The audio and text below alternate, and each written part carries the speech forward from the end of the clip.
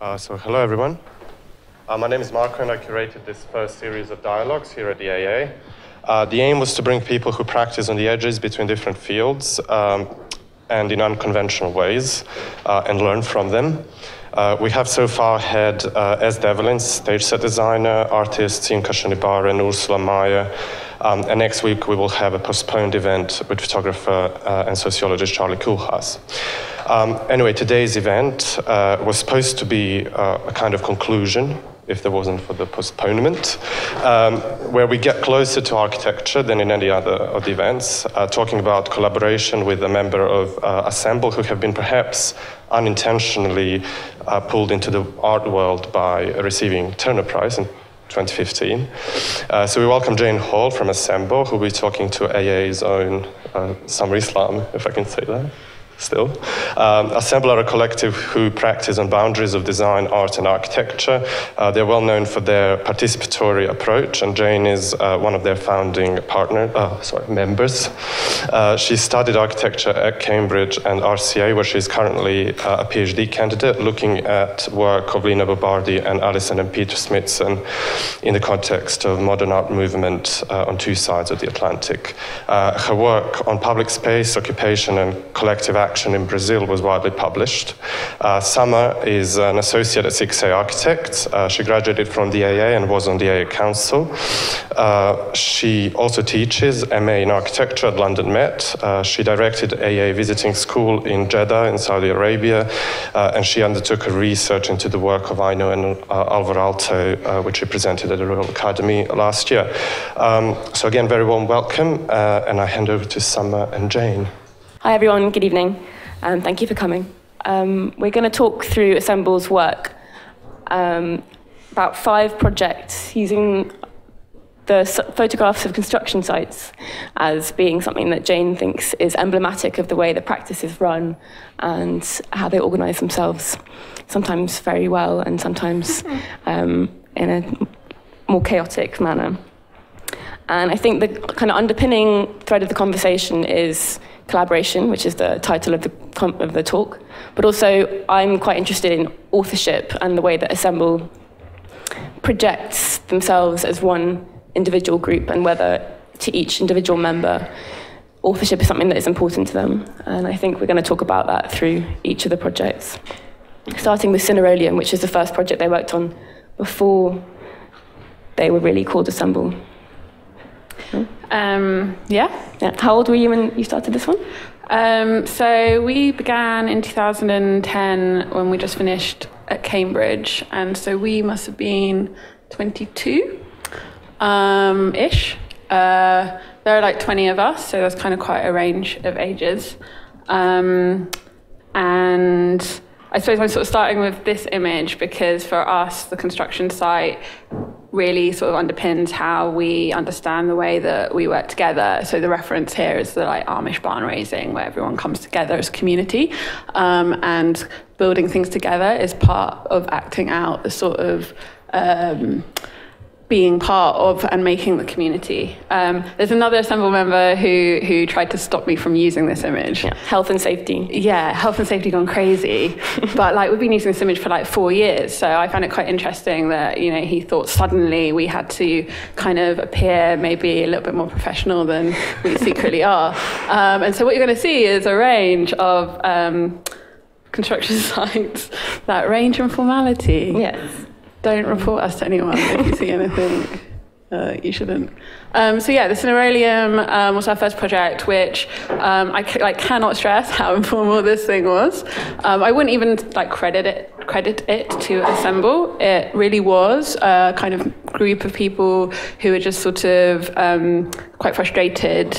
Uh, with uh, coming straight out of education into practice, and took the opportunity to um, acquire a site uh, which we turned into this, which many of you may know because we've been showing this project a lot for a long time.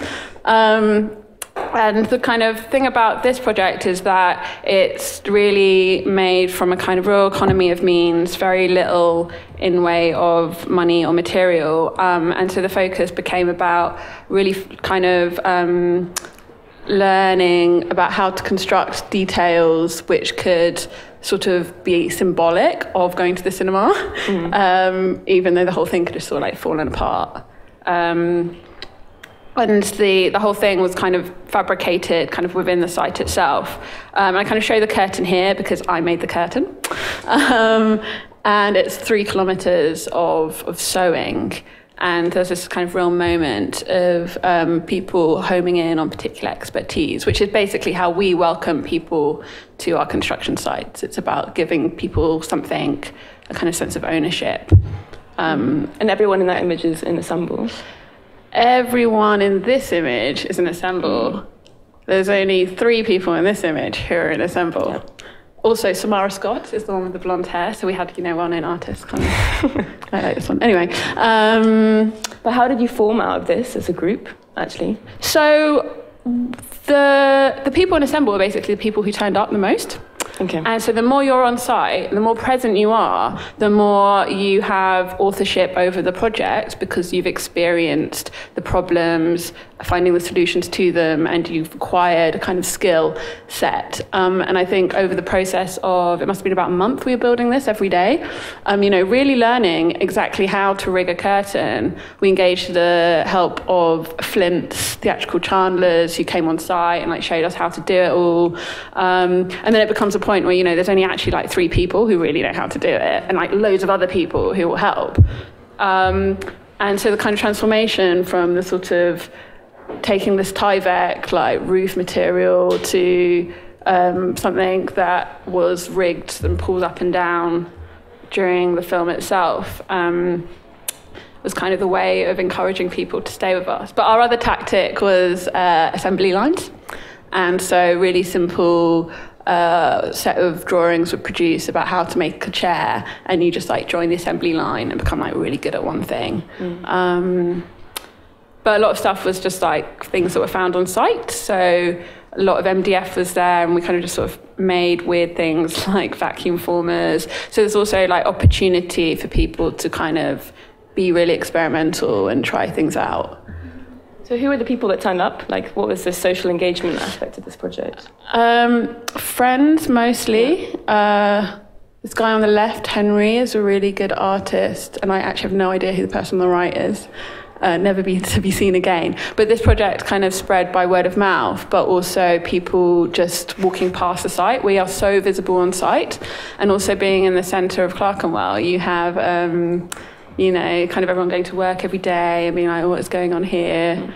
Um, so for our first two projects, it became really about um, visibility. Um, and so, But yeah. sorry, I just want to ask. So you're, you're perceived as being like quite social, like participatory, like really socially engaged. Yeah, yeah, this project was lie. by you, for you, because Yeah. you wanted to get some something out of your systems over like a summer holiday when you'd realised that being in practice was a lot less engaging than you'd expected. yeah, so I think that's something I always say about this project is like the worst, the worst moment of it was when we opened it. Yeah. It was like really fun until people started coming to it and like ruining it. Um, you know, it's kind of amazing seeing it all working, and also this kind of weird thing that everyone thought we were some sort of like professional outfit. You know, they're like, why is the film not starting? Like, there's no toilet paper. so, well, no one thought to buy the toilet paper. Um, but then for us, there was a sort of maybe kind of um, as you know, kind of t- testing out what we were actually like interested in in our practice. So the kind of whole thing about the Cineroleum was that you can be like inside the cinema, completely oblivious to the outside world, even though there's like a really like thin curtain acting as the barrier. And then we would pull up the curtain at the end of the night, and you're suddenly thrown back onto the street, and the kind of passers-by then look at all of the kind of audience members, and it's a sort of reversal of the spectacle. Um, and being able to kind of see how something we'd built had that kind of effect was um, a kind of a nice outcome, I think, um, for us. You get quite a lot of flack in the press sometimes. I mean, I think your work's great, but sometimes. um, and Thanks. I, you said to me the other day that Cineroleum was criticised because you basically were a bunch of architects who all came from Cambridge. You know, so is there a thing in your work where you feel like being sort of privileged middle class architect who come from a certain background makes it difficult for you to put work out there? I said difficult, you said problematic. Um, Yeah. Without feeling like it's being perceived um, as indulgent? Um, I felt with this project, uh, it was a real surprise how people projected what they thought we were trying to achieve with it. And it was in 2010 at the moment of sort of lots of uh, rhetoric around big society and this idea that local cinema was closing down and that ours was basically a demonstration of the fact that if a community has to, it will build its own. Right, okay. Um, which, you know, in a way, I felt like they'd sort of overestimated us a little bit. Like uh, this thing was kind of ready to fall apart. But um, I think it also that we've always had this kind of um, assumption made about how we've put together projects or how the or that we've worked for free or kind of all of these things. And I think it's quite a simple um, a simple narrative uh, that I think a lot of us have been willing to kind of engage with because and that's why I prefer the word problematic because whilst I sort of recognize the sort of imbalance in the kind of economics of it um, and that we come from a sort of very like educated essentially privileged group, um, for us it really felt like quite a grassroots um, kind of thing, and we weren't, you know, desperately trying to engage an outside Yeah. um, group. And I suppose what's interesting is that our project that followed, the Folly, we were like, oh yeah, fuck, we'll, we're going to go and like engage some people then because you think we can, and we don't see a problem with it. So Yeah. the Folly really did become this like community centre almost for for a kind of um, for a group. So I think we've always positioned ourselves in being quite happy to kind of engage with the the trouble and the Okay. contradictions Right. inherent within it. But the, the Um, vision that came out of this, though, The vision. the vision, is Yard House. Yard House. Yeah. Yard House. So um, I suppose the Cineroleum was really about something that was quite spontaneous. Like there was there was literally no plan Yeah. for how this thing was going to come together. Um, but I, what we all really enjoyed about it, and I suppose why I I think the, the actual opening was the biggest failure was um, the process of making it was the kind of super inspiring thing. Yeah. Um, so also you- because you're not so interested in the built outcome as you are in the. Um, yeah, I think it depends in the project, but I think the built outcome is very much underpinned by how it's been produced. Yeah. Um, But that's not how it's perceived. So this is a really interesting Yeah. example of this because you've probably seen Yard House. We'll, we'll don't have- get I mean, have the elevation image. Yeah. But it's basically people. Yard House is a project where I think people know it. People associate it with Assemble, and it's been kind of the image of it's been Mm-hmm. disseminated through Instagram in a way that you know that is so much more important really than the process of its making, or it's become more important than the process of its making. Yeah, I suppose the the kind of I feel like our projects are really good symbols. Yeah. and they're kind of good images of an, of a kind of um, uh, an idea uh, in a, as a way to like sell it. Yeah. So and I, I will show. Um, you know, Yard House has become this kind of amazing bit of attraction for architecture students from everywhere. But actually, what's behind Yard House, um, and I suppose Yard House itself, and the images that I would show, is kind of um, represented by that little red pitch roof thing. But behind the idea for Yard House is this kind of massive place where everybody um, it's filled not just with our studio, but with other artists, makers, carpenters, ceramicists, you name it, all working autonomously, but creating a kind of community um, that supports each other. Um, and so actually, this is our old studios in Bromley by Bow. Um, and so Yard House is the thing on the left, and Sugar House is the thing on the right. Um, and we really tried to create in this space um, a kind of, we call this front of house, which allows us to make, continue to make things at one to one um, in the way that we were doing at Cineroleum. And so be able to test things. And so we built Yard House ourselves, which was a huge timber structure. Um, that's the image. Yeah, the image. there it is. Um, and so the idea being is that it's like super lean, really cheap. Um, it's got no foundations, just went up, but that all of the kind of time and effort went into creating this facade, uh, which kind of then gave something back and tried to create a public area in what was a pretty grim yard. Yeah. Um, but then we engaged the help of the carpenters who had a studio, so they did the whole staircase. Um, and then this is James from Assemble uh, trying out some metalwork. Um, and so it was a sort of real collaboration. And then the people who ended up using Yard House inhabited it and kind of built the spaces to suit their own needs. Um, And you sort of moved Yard House now to your new your new offices. no, Yard House is in storage. We sold it. Yeah. Um, But you but the way that you, you current, currently inhabit Sugar House So, is the yeah. same. You have your joiners, you have metal workers, you have lots of craftspeople around you that you can basically pick and choose from and Yeah, collaborate with at will. So Bermondsey Sugar House, which is our our new studio, is basically like uh, kind of Yard House and Sugar House amalgamated into something like bigger and better. Um, and it's a sort of synthesis of all of them under one roof rather than we didn't have a studio in this building. This was just all other artists. So everyone had to kind of go outside and um, meet each other. But this is the, the Instagram sensation that it. Yeah. I heard it's also an iPhone cover now in China. Oh my god, it's so hard to Yeah. keep track of these things. yeah, yeah. Someone made leggings with this print on it. It's a shame you didn't get copyright. That would have been quite good. Yeah. Yeah, so I think we're gonna start making our own. yeah. Coming soon. Um, so this is kind of how we formalised the way we worked from the Cineroleum into kind of our now everyday practice. Um, and I think the Cineroleum for us was about trying to acquire these skills. And through the process of doing it, realizing actually there are some really incredible people out there who already have these skills and know how to do things much better.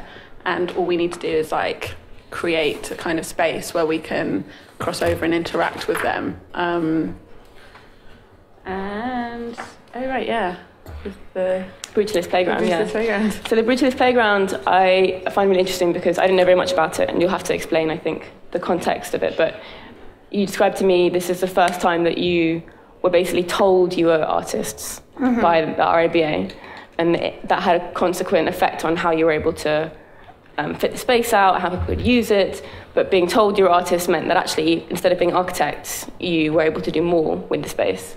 Um, we'll talk through like the safety, the safety of the playgrounds. But safety you know, if you were architects, you had to have your you know 100 mil spacings for a balustrade. But as an art piece, it was totally fine that a child could um, fall off the top because you know it was this, yeah. because it was a piece of art. But that's you know the idea that you're now you're shifting your label because you weren't really architects to begin with, or I think that Still you, not, there's a kind of uncom- discomfort you have if I say uh, that you're architects, You're kind of like, oh no no actually we're not we're not allowed Mm-hmm. to say that. There's only there's only two of us, or sometimes we're part-time architects Mm-hmm. and actually we're artists. But this is a kind of like label shifting territory, which I think I think is quite interesting. Um, Yeah, so this is the kind of thing that architects could build in the 1970s. Yeah. So this is um, Churchill Gardens in Pimlico, um, built as part of the Abercrombie estate, which was the biggest, the Abercrombie plan, which was the biggest um, single thing built as part of that plan. And you can kind of see this sort of like Scandi townscape modernism going on in the background. But it took them 20 years to realise this project. So the playground was kind of built towards the end when things had changed. Um, so we proposed a project to the RIBA to build in their gallery space at Portland Place full-size replicas of these um, kind of play structures, of which none exist anymore.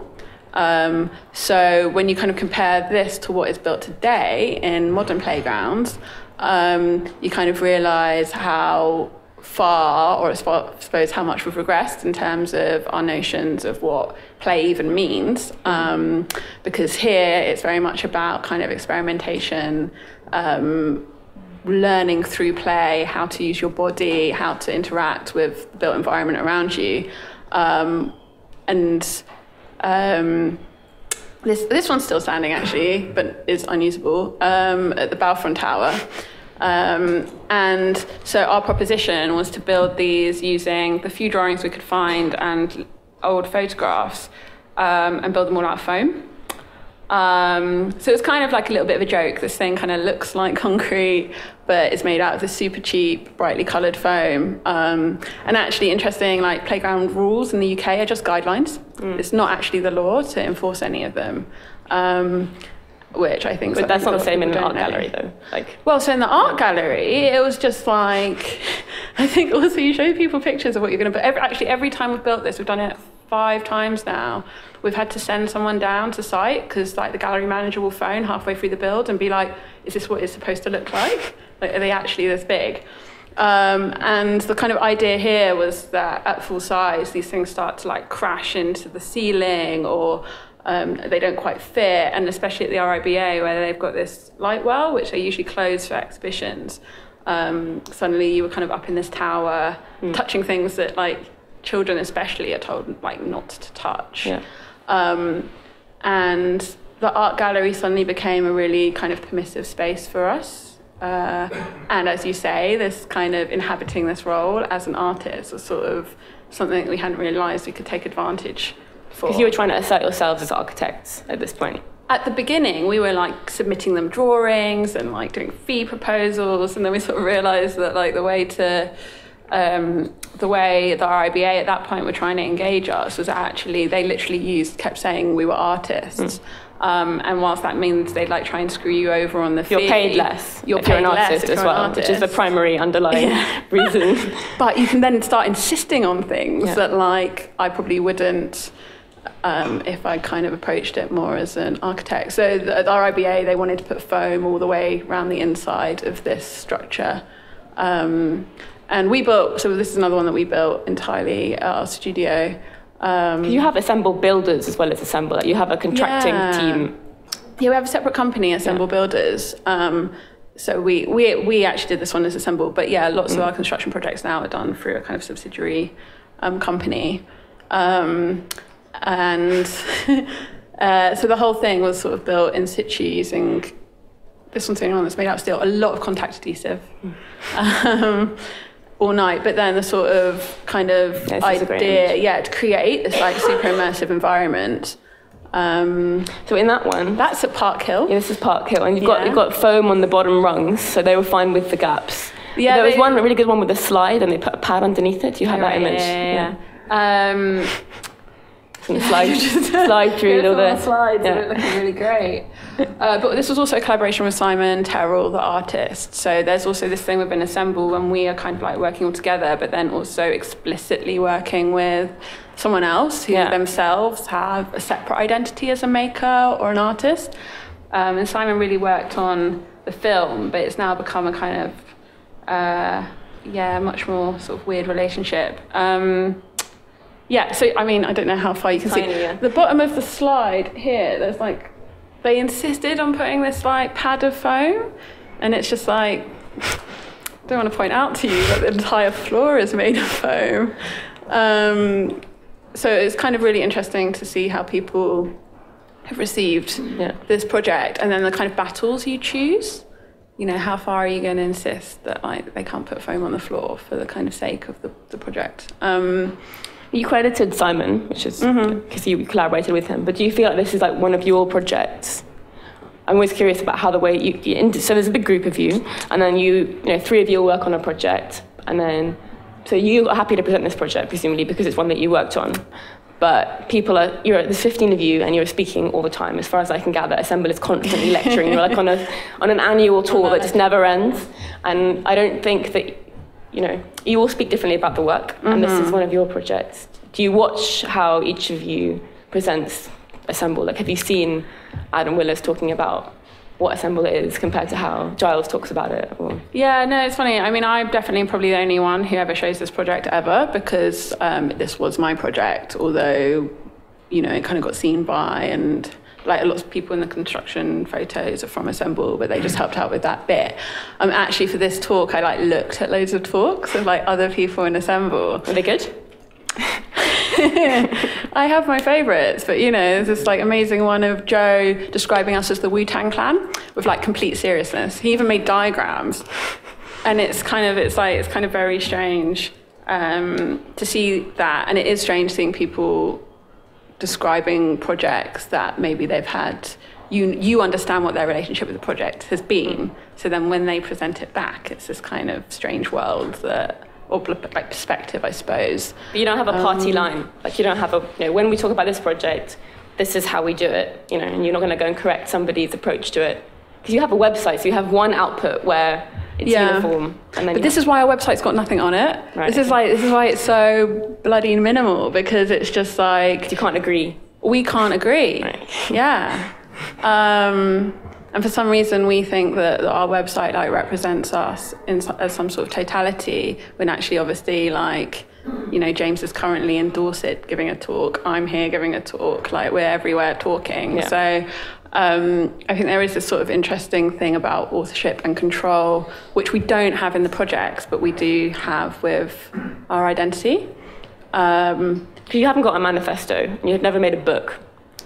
So how do you define yourselves if you all define yourselves differently? I think like each person has their little mini manifesto going on. Right. Okay. But then I suppose to have a manifesto, you have to sort of like have something you're against. And in Assemble, we really began it as a sort of platform for us to kind of find out what we were into. Um, so you've got this sort of like weird thing of suddenly realizing that it could be your full time practice.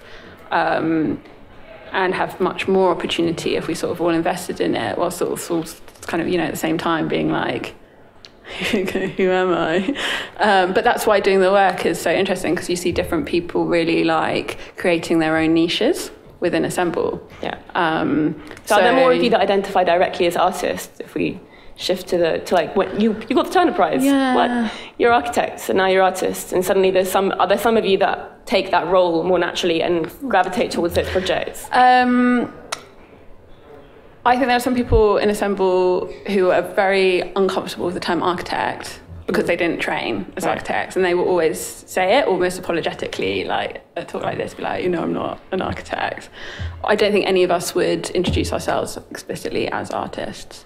Okay. Um, but then none of us would as architects either because that's illegal. I think there's like a like a way. yeah, it's illegal, but everyone illegal. does it. You know, you, I think there's a kind of an, a British like apologeticness about the way that you all um, won't label anything.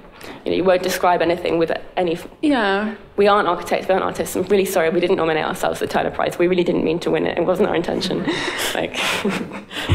We didn't mean to. I know, but no one nominates themselves for the Turner Prize. It's actually Yeah, impossible. I didn't know this until I asked you. How does it happen? But you know, Yeah, I think it's funny because I, I think the one thing we do have is like a like sense of responsibility to each other, um, and because the work has been co-produced, I feel confident in saying this is a Assemble project, even though like it really was mine and Joe's project. So. Um, in a way, like the work represents us, and labels have always been like pretty uninteresting to us. Um, but everyone else is fascinated with trying to give you one. So it's you know. Yeah, and we kind of just like let that argument just sort of happen. But I suppose with this project, the most interesting thing was realizing how if you then do appropriate a role, you could suddenly like have more agency in a way that you hadn't. So now we like run around saying we're artists all the time in the hope that someone will give us like a cooler space or a better gig for the for the project. Also, and I suppose we'll just like to finish Sorry, this yeah. project is a sort of creative license we started taking. So we then this was in Bath, um, where they couldn't find any brutalist programs for us to rebuild. But the obvious connection to brutalism in Bath, especially at the university, is Alison and Peter Smithson's. Um, and there's this kind of, sort of kind of super interesting writing around the Willys Jeep as um, a brutalist car um, because of its sort of post-war domestication um, and uh, the materiality of it, but also because like there are lots of architects photographed next to Willys Jeeps. There's a great one of Le Corbusier like doing his shoelaces up on the bonnet. So, oh yeah, and then also the, the, the particular one that the Smithsons owned in Blow Up is um, filmed going around the Economist building, um, their 1962 uh, tower in St James. So we, you know, just rebuilt it. We just made a Jeep. made a Jeep, yeah. You know, so this isn't based on anything. You know, this is like pure, you know, imagination. Um, and I think when we began the project, we kept trying to find, be really rigorous about our understanding of brutalism and materiality, focused solely on materiality and being trying as true as possible to the forms of the original sculptures made by these architects. Um, and now we've kind of like definitely gone rogue because we have inhabited this sort of idea that the Brutalist Playground is very much our own kind of creative project now. Um, so creative license, I think, is the The thing. the thing. But then Granby did actually happen. You won. You won the Turner Prize. So now you're now you're artists. You know the label shifted. Um, and I, I do think that you sort of apologise for it. I, I find that really quite For, funny. for winning the Turner yeah, Prize. it's like I'm you know it's really sorry. Like it wasn't it wasn't our, our plan. And then you talk about that being the sense of responsibility towards the people that actually did it. Mm-hmm. Um, Yeah. Well, I mean, if anyone like wants to trip up to Liverpool, it is sort of really amazing. Um, you know, Granby is still looks the majority of it still looks like this. There's this kind of era of managed decline in the late '90s, um, where um, people were kind of forcibly removed from the area because they wanted to make way um, to, to kind of rebuild, and so most of these kind of houses that we were given looked kind of like this but what we discovered there was this like amazing community with such a sense of humor who you know spray painting walls kind of like taking the piss out of the local council about how this kind of destruction was being was happening. Um, you know this is 2010 this isn't like you know, that long ago. Um, and they planted the streets. So whilst a lot of the houses um, are abandoned, the streets are kind of full of life, and so it's this sort of visible occupation of a community um, and their presence.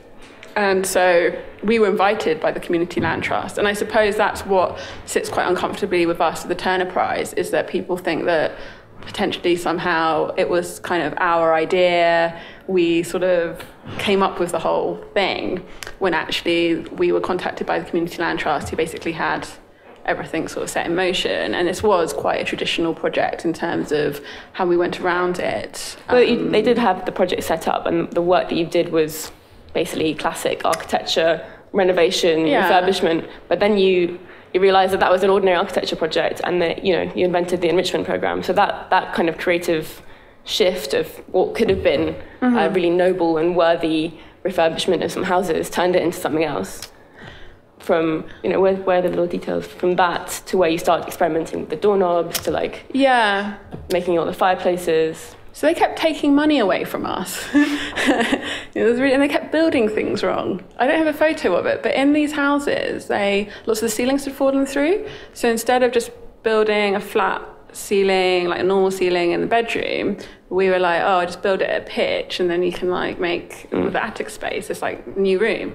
And these contractors who are doing work in kind just like didn't look at our drawings and just like built the ceiling. So we had to get them to take it down again, and you just suddenly realize like all of the cost that had gone into that could have been used to make you know these houses much more exciting or you know maybe there's another project in there that we couldn't do um, and so that's where the enrichment program came which was um, The enrichment program. the enrichment program sounds really bad doesn't yeah, it A little bit. to enrich the houses. Yeah.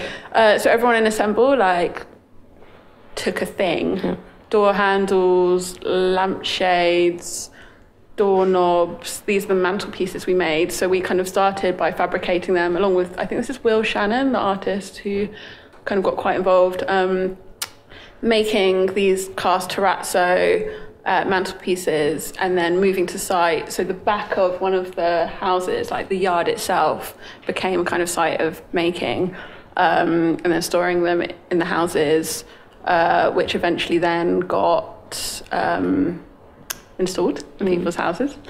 Um, and the idea of the enrichment program, I suppose, was the kind of impetus to uh, create what we ended up making for the Turner Prize. Did they all get installed? Like 20 of you making doorknobs? And like, what, what, was the failed experiment actually? I never thought to ask you. Um, some people's things were better than others. Yeah, okay. um, yeah, the mantelpieces made it. The doorknobs made it. The handles were amazing, but they got too complicated. My the little ones that were made, made in the barbecue. No, no, no, No. These were these like cool metal things. um, no, the bar- so the barbecue ones um, made it. Yeah, my lampshades did not make it. Um, I'd say the Turner Prize was a kind of showroom for these products. Um, and I think it had kind of a lot of worthiness at the time. It was like there was a lot of like William Morris being thrown around, Right. and um, in a way, it was like complete naivety. You know, like the night before the opening of the exhibition, where we were going to launch Granby Workshop as this kind of thing in Liverpool, which would be making and selling these products. We're like sitting there typing into the catalogue like how much should we sell this for you know it's just like complete had no idea how to run a business, but the Turner Prize had sort of within two months like forced us to to do that. Um, and so since then, we've very much focused on um, ceramic products. So these images I find really interesting. So the first, the one on the left, the blue one, that's just the one that somebody went rogue and made. That's Lewis Gone Rogue. Yeah, That's okay. for the Turner Prize. Okay, so that was the first image, Yeah. and then you sort of went all sales catalogue and kind of refined it into something. Well.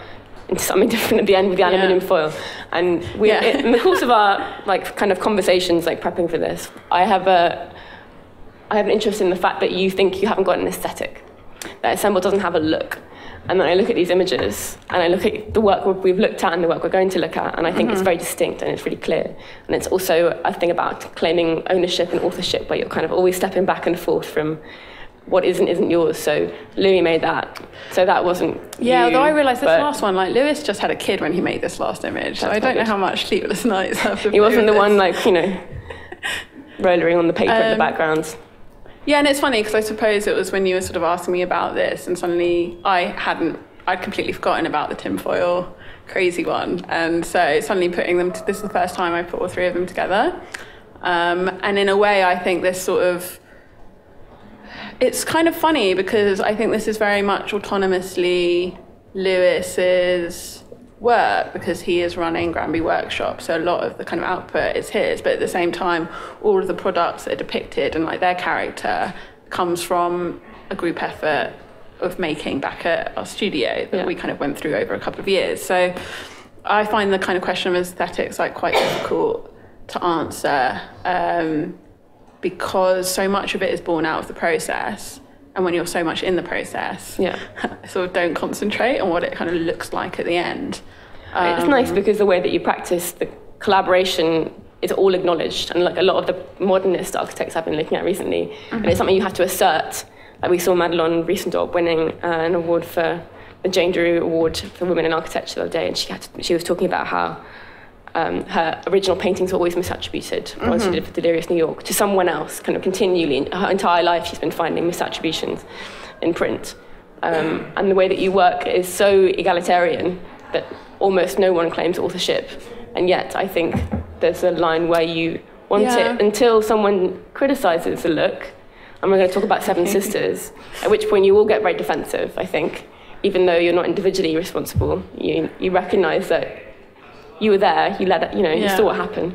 We're, of we're super anti, we're super into supporting individuals to have authorship over their projects, but we're really anti that then becoming something that's like public or recorded anywhere Yeah. or. And there's no name attributed to who was working on the doorknobs or who, you know, there, there's no name to the Brutalist Playground. No, And that's exactly. important. Yeah, but then it does become, you know, like there's only two people in Assemble who could have produced those doorknobs in its first instance. Like you can read, I Because of your skill set. project. Yeah, exactly, Yeah, because right. of skill sets. But then you you kind of learn through observation of everyone making stuff around you. Yeah. Um, you definitely see the certain people recurring in the photographs, like with a hammer, and certain people you never see in a Some people are much more hands-on. Yeah. Other people like have different skills elsewhere, and I think increasingly we are creating like pockets of of expertise where people really like following their personal interests. Um, and the work, I suppose, will come out of a mixture of it being those people, but also that their engagement um, with it.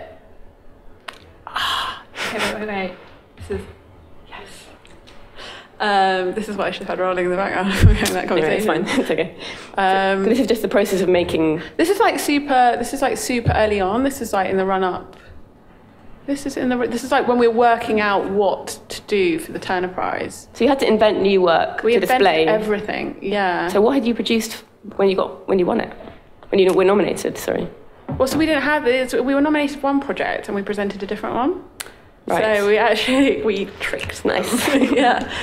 Um, we thought it would be better to invest the money that they give you. They give you as much money for winning as they do for putting on the exhibition. Right. Um, and so we thought that money would be better spent trying to kind of uh, begin something new rather than just sort of doing a kind of weird representation of something we'd never even questioned before. You know, the Turner Prize was really threw the whole project into a whole new light. It's kind of we're sort of standing there suddenly looking at it from the outside, being like, oh, is that how you see these houses in Liverpool? Like literally people going up to the street, knocking on doors, being like, "Is this one the art?"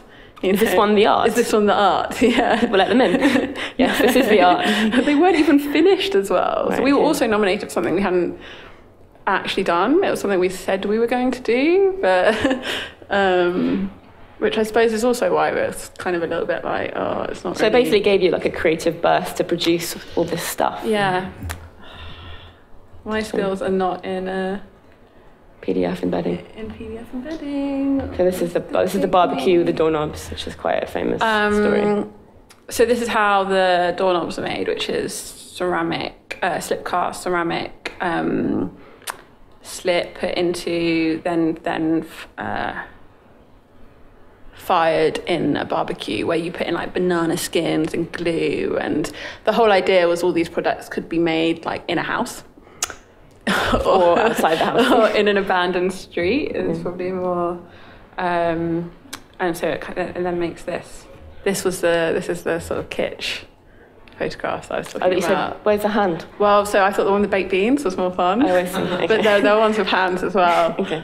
Um, This is like Assemble Gone Rogue again. So this is work this that, is- you know. yeah exactly that's what I mean yeah when we were talking about aesthetics this was some other kind of world that uh, I wasn't aware of um, Yeah. And I suppose this project for us has become about ceramics. Um, and so now all we do all day is invest in ceramics. Um, and the idea of Granby is that everything is a handmade process, but because it is a workshop that also has to have a kind of economic um, sustainability for the area, it has to be able to be scaled up. And so we started using a ram press, uh, which is kind of industrial. Um, industrial press for for it kind of well you'll see it squishes things basically great. um So you have a separate business now. So you're like, you know, you're basically a multinational. You've got your, yeah we've got we've got uh, yeah we've got 3 you've got. Assemble, you've got Assemble Builders, and you have Granby Workshop, Granby which Workshop. basically sells your ceramics, these things. yeah so there's a lot of fluidity between Granby Workshop and Assemble um but anything to do with ceramics kind of goes their way uh um, but this was actually a project we did in Milan last year for Mini, where they paid for the machine, Mm. basically. He's always uh, That is the yeah. gratification uh, of um, doing ceramics. This, this worked really well earlier in my. Do you have a film of the clay station as well? Yeah, yeah, yeah. We'll, we'll get into that one. Yeah, I'm stuck. Um, so we're using this machine, the RAM press, to make um, loads of plates. Um, in Liverpool. This is at splatware. This is splatware. you can buy online. Can- yes, you can. you can. I've seen. Workshop, though. you go. Have a website. Um, so yeah, so it's interesting. So so so the the press was bought through an Assemble project, but we've given it to Granby Workshop. So Assemble were employed to to do a project where we were able to persuade the client that what we really needed was like a massive machine. Mm.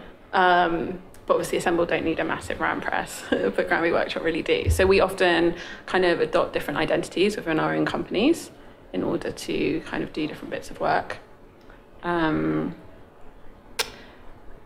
more ceramics. Clay Station. So Clay Station, this is really interesting. So this project in Seven Sisters, I don't know if anyone has been or goes past Seven Sisters Tube Station. Do you have a shot of the front?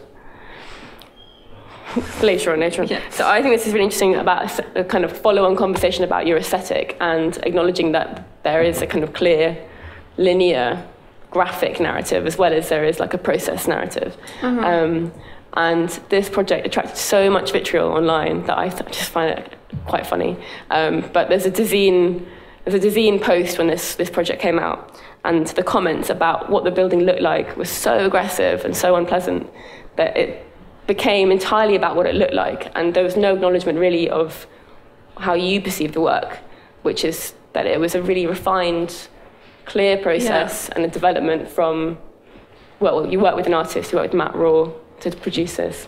And actually, this is, this is a peak, pinnacle of perfection in terms of like how you can work with pressing clay together and how the whole process, you know, was basically super refined. Yeah, so I think I think earlier when I see like those three images from the Turner Prize of the sort of like Assemble Gone Rogue making different things is kind of this idea of like a commitment to a process.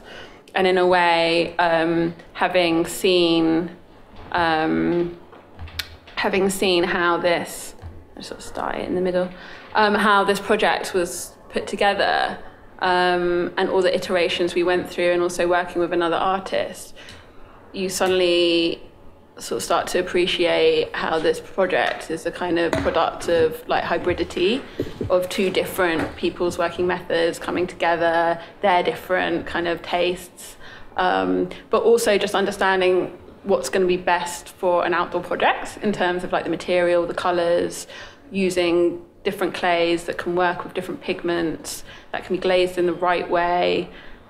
You know, suddenly it restricts you that you sort of don't have this sort of like palette that you could do anything. Mm. Um, and mm.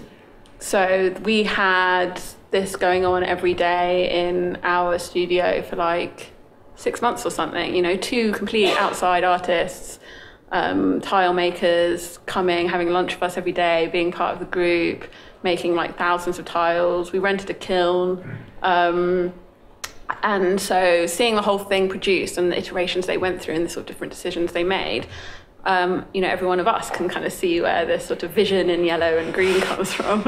but obviously, if it's just like landed mm. in your neighborhood um, and it's not to your taste, it probably is quite um, offensive. But I think that's really good because, in a way, um, because we're so focused on how something is produced and being really hands on with it, I think we're much more confident in taking risks and not being as kind of apologetic for for this project. I think this project's really great. Yeah. But who is it on Dezeen who hates? I mean, this, one guy. I'm, not, I'm actually, guy. I'm actually not going to read them out because they're quite abusive. Okay. I mean, this guy Agdipa. Like every time anyone commented anything vaguely offensive, he added to you know his his additional comment on you've it. You've not made it unless you've got some trolls. I mean, it's proper trolling. Like it's really it's really offensive. But and it didn't hurt. So I don't know. Oh, Go on. Okay, fine. This is Agdipa's first comment. It started the whole the whole feed. Yeah, I had the misfortune to walk past this site every day, and it looks absolutely ghastly. I can't imagine anyone having such bad taste and judgment that they designed this. It'd be best to tear it down and throw away these revolting tiles. I am very disappointed by this complete mess. So that started it, and then it just kept going. Yeah. Uh, it didn't hurt anyone's feelings. You you all just like, oh no, it's about the process. So it's. We all laughed about it, but so this project's really Matt's project. He's in the blue jacket on the left, and I think he might have felt slightly uh, like responsible, maybe, um, but also like none of us care um, at all. And then actually, I looked through all of our Instagram comments, mm. and they're all lovely. So right, on the same project. Yeah. Okay. So just you know, it's I just know, I know Dezeen's quite bad, but like just don't read Dezeen ever. There also Quotes. somebody on Dezeen also like really did not like our approach to health and safety. From that. Um, what the the yard the house, yard house image. Yeah, yeah, yeah. So there's boring people on Dezeen. Yeah, we'll see how they like goldsmiths. Yeah, so this is, a, this is a real building. Yeah, yeah. So hey, real building. Real building, yeah. Conventional real building. So this you won through a competition. This is like a classically yeah. procured project. Well, so this one's quite interesting because actually it started in we won it in 2014, so it's kind of really spanned like pre pre Turner Prize and post Turner yeah. Prize.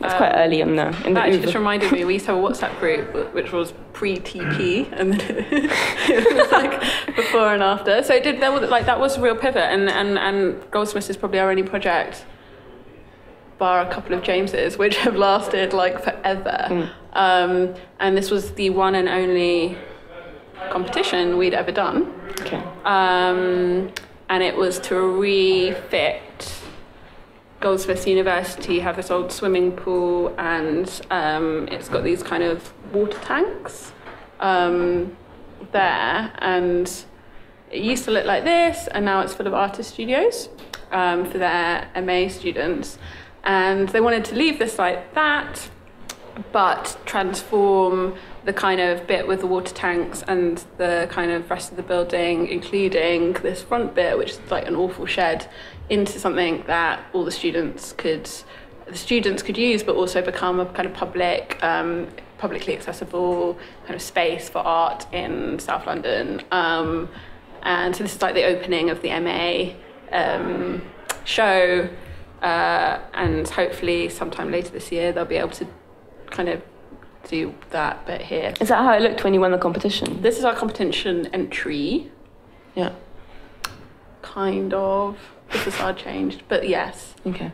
Um, and so, you know, the idea is to create this huge window at the front, which kind of creates a sort of transparency through the gallery and connection to this public space, um, which we now realise they might not actually, there's like actually a building right in front of that, so it could be like a real disaster. But, um, you know, this was something that we like super heavily invested in because at the time we hadn't really had our, an opportunity as a group to kind of stretch our legs at a building. Everything was kind of the scale of the Cineroleum or kind of small bit of public space. So were any of you architects at this point? Uh, nope. No. Are any of you yet? When you are training to, to be architects Yeah, for this, yeah? yeah, yeah, Well, I think we're going to be five by the end of this year. Right, okay. Um, And this sort of gen- kind of classic procurement process of like winning a competition and then going into conventional building where a client has a brief. How did that affect your general approach to feeling the need to enrich things? um, so this project's run exactly the same as any other project that we have in the office. Like two people look after it, and then people get pulled on to like. And you have design reviews as well, like you're all we like have design quiz each other. reviews, but this one has had quite different ones. This one's been usually we use design reviews as a way to um, talk about specific uh, kind of choices in a project, whereas this one's been much more about how to deal with a problem with a with the client Right, okay. um, and you know collectively sourcing um, opinion because in a way the design actually hasn't changed very much. It was about inserting these two kind of white cube elements followed by um, carving out kind of space from the original building. Um, and we kind of worked originally through like you know sort of one to twenty models. This is a more recent image, um, and then sort of larger scale ones on the left, but then kind of on site today, how it's kind of looking. Um, and I suppose the sort of like approach we have taken, which might be a bit mad, is trying to, we are delivering the entire facade. Assemble builders. Assemble, assemble, okay. assemble, uh, delivering the entire facade. So you're Um, manufacturing the pieces of the facade yourselves in the office? So we developed the whole thing. Um, it, it is this. Uh, it's being. So we did all the sort of staining tests for it, um, working out all the special details that would have to be fabricated, which you can kind of see in plaster, which are bits that aren't kind of off the rack pieces, um, and then working the proportions out and how to put it together um, in our studio. Um, and so making this kind of one-to-one mock-up. Um, and this was very much done for us rather than for the to tell it to the client or anything. It was like, you know, us kind of like working it through rather than drawings. Um, And you're still delivering that package? Yeah. But that's the only one that you're making yourselves now? So everything else is you've got a contractor, Yeah, you have a exactly. builder, you tell them what to do, and then you hope that they do it Yeah. the way you want. and they don't do it the way you want. um, so this is the hole in the ground. Um, and then this is the kind of big central space, um, which is kind of happening. Um, and then all the kind of like weird bits of this project. It's like a real puzzle, Yeah, sort of different pieces. Um, and so what we've ended up doing now, the kind of most like we keep going on little like day trips to this project. It's become annually our Christmas outing. Um, so we kind of all go down and uh, but these are these are other people, not us, digging digging holes. Um, Does that feel like disempowering having someone else doing that? You're, you're at a scale now where you can't, you, you literally can't do this work. Um, yeah, this this is the kind of scale. Yeah, this is yeah. We literally yeah we literally can't do this work. Yeah. You're correct. um, yeah, and then the tanks, which are going to kind of be this amazing um, space. It's sort of just like left almost how they how they've always been. Would you do it again? Working with a contractor? Is that the kind of work that Assemble wants to pursue now?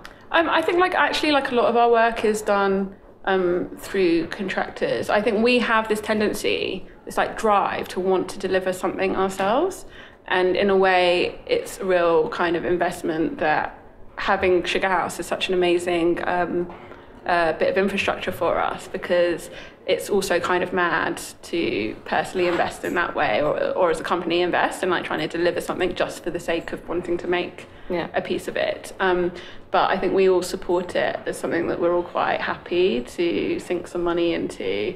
Um, how will that work project. if you? So I, I know that you had a project that was um, in New Orleans, which is more of a master planning project. Mm-hmm. How is that going to work when you start? To, your your role gets so much more kind of separated from literally being on the ground and being involved. Is that work that you actually want as a group?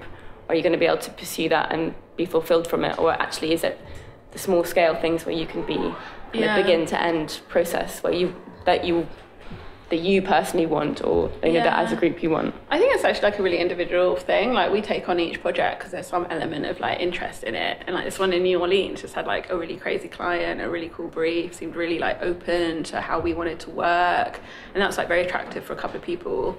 I'm like not touching that project with a barge pole. Okay. Um, but you know, then there are other things that kind of really attract and sort of interest me. And I suppose the idea is that people have the sort of freedom um, to kind of pursue those. But the, you know, there is always this question like, is it an assemble project? Um, How do you decide? it's What to like do? an existential. Like you all vote though, it's like a veto veto rights on a project. Um, we do have veto rights, but you wouldn't. It would be bad form, I think, to exercise your veto on a project, especially if you've got a project coming up. right, okay, that you want. Yeah. yeah, exactly. Okay. Like diplomacy at like a very high level. Um, And like financially, how's this working out? This kind of like picking and choosing of stuff. The two of you want to do it, but one of them, that project's a research project, this project's a real building. How do you kind of make that work for all of you that's, that's fair when you're working on work that produ- brings in fee differently? Um, so we also collectively review all of that sort of stuff. So projects won't get taken on if, as a group, we don't think it's going to be financially sustainable, or or we would like collectively look at how it could become financially sustainable, or like how we might need to change it or approach it in a different way. Um, but essentially, if there's a couple of people who want to do it and it looks like it's going to work out, then it it goes ahead. Um, so I think that's why we've had like a really weird, contradictory mix of clients. Like, you know, someone was just like ethically against working for Frieze, but then we had like all these projects with BMW at one point, and it was just like, Where are they on the Who's website? in the They're not on your room, you website. know? The BMW projects. That's been buried. Yeah. yeah. Um, so you know, a lot of Assemble's direction is just based on like who's in the room um, to make the decision, Okay. so it can change. So, Um, what's the most exciting thing that happened to Assemble in the last year? financially related question. Yeah. Well, so yeah, I, I don't know. I was thinking about whether to say this one. well, so for so for me, actually, like weirdly, we had so much like freedom and experimentation when we were like beginning that suddenly we realized that if we want to create this as something that to, to do forever, and the infrastructure is really important. So the most exciting thing that's happened to us is getting we're all paid equally now. Um, we used to be based just on the work you did and the projects you were running. You got each project, you know, individually stood up by itself. Um, but that created weirdly a lot of like unequal kind of quite uh, the difference was um, quite quite big within the group. So so now we just have a flat rate for everybody, which also then allows everyone to start working on each other's projects and doing stuff that doesn't have any fee and like it's really fun. it's really good. Okay. Um, It's like slightly more conventional though. Like you know. yeah, no, it's funny that we're getting really conventional. Yeah. I think the idea of like institutionalizing ourselves is Yeah. quite interesting, um, and then how much we start like believing what other people say about us. Yeah. Um, yeah. But that's why we're going away this weekend. Oh yeah, you have a summit coming up. to thrash it out. Yeah. Yeah, our annual summit. Okay. Um, yeah. Great. Okay. Cool.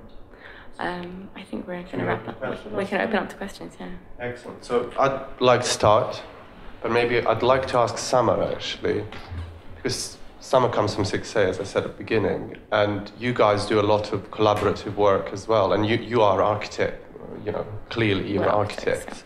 And you collaborate with a lot of artists. You, like, I presumably the, the work that you do with artists is seen as collaborative. And I want to ask, what is it maybe that you learned from this exercise that you went through with Jane, and maybe how you would compare um, either the freedom that they have uh, to um, uh, your level of freedom, Mm. or uh, generally, how would you compare the two situations? Um, I mean, I the, one of the projects I'm working on at the office is a theoretical collaboration with an artist, but we haven't begun begun it yet, so I can't compare how how we would approach it. But I, I, I expect it to be different because I think when you work uh, for a practice and you take on the kind of identity of it, which you uh, enjoy in lots of ways, but a lot of it is something that's particularly for 6A, I joined the practice. It was already pre-existing, so it had an identity. You know, we have a party line, I think, you know, and it's one that I buy into, but it's a party line that if I was to talk about our work, I'm fairly sure I would talk about it in a way that I think would be representative of, of us, not my perception of it necessarily, and I wouldn't, you know, so that's why I find it so interesting that Assemble is constantly speaking about Assemble, and no one's really, no one really minds what, what you know. Jane doesn't mind what someone else is saying. and hadn't seen any of the videos. I watched videos of other people in Assemble talking about themselves because I was curious about the disparity. Whereas, you know, if I was to speak of 6A, I think it would be in a way that was representative of how Tom or Steph or Owen and John might want 6A to be representative. I think that's really interesting because I, I think people put a lot of pressure or understand the idea of kind of identity or freedom within what they're doing based on the output. And actually, what's been like amazing for us is we've got two people in Assemble. One's our finance guy, and the other one's our office manager. Neither of whom, you know, like were there at the beginning. And like we had this real worry about like how would they fit in, like will they represent us? And now we've like our finance guy is designing a club. Yeah. he's designing. He's doing like- talks, no? Like, you he's doing your talks. accountant like, speaks for he's, you, You yeah. know, like I don't. All he's doing really is, is the books. But I'd still be like, hey, Corinne, what do you think of this drawing? Or like, and actually, I think a lot of the kind of idea of a, a party line or an identity is born out of just spending every day with somebody, Hmm. rather than what something like, you know, what you're known for being really good at or whatever. Yeah. Um, yeah. Question. Um, hi. Uh, given the age we live in, uh, do you set yourselves any kind of environmental remit in your projects? Um, only in that something when something seems like a bad idea, we consider that kind of thing. But I think what's been really um, the the sort of big question when we began was all about kind of reuse, and we are really interested in materials. That's really where our focus in terms of you know, kind of that sort of thing is. And, you know, we've done projects where, um, and I think it's a really popular thing, especially within architecture education, is the idea of, of reuse of materials. And we did this amazing project for Robin Day's um, daughter, an exhibition of his work, and we hu- huge timber columns, and like the engineers were like, you know, we thought we'd cut them in a certain way that they could be reused by somebody, and the engineers were like, it would be better if you just went and burnt the whole thing because like the cost and the storage and the moving it around. Which, and so i think um, for us we're really interested in kind of actually working out the kind of how all these things kind of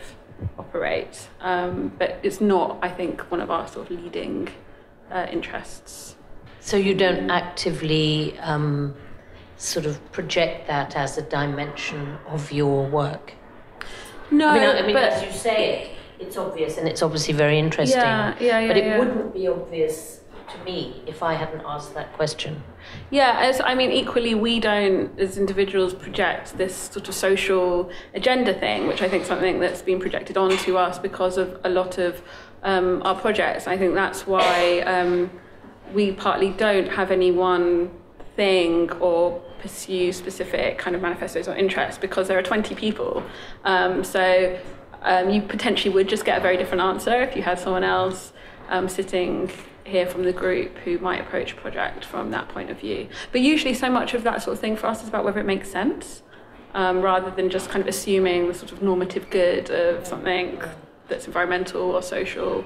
And that's what we find uh, like exciting is like the challenge and the question of it. Um, yeah. Behind you. Yeah. Um, I noticed that you use a lot of pastel colors. Can you give her the mic?